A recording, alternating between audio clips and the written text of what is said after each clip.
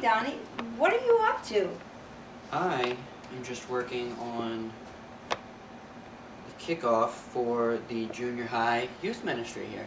Hmm. Really? When's that? Oh, that we're starting that on um, February 27th. We're gonna be meeting at the church first, and then uh, have a few fun and games, get to know each other, and then we're going to McDonald's and getting some ice cream sundaes. Mm-hmm. Sounds delicious. Hmm. Wait a minute. Core church didn't have a junior high ministry. Where'd you hear that?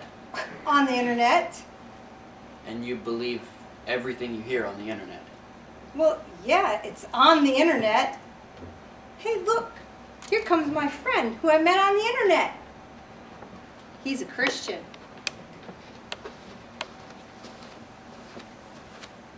So, God is good. So am I.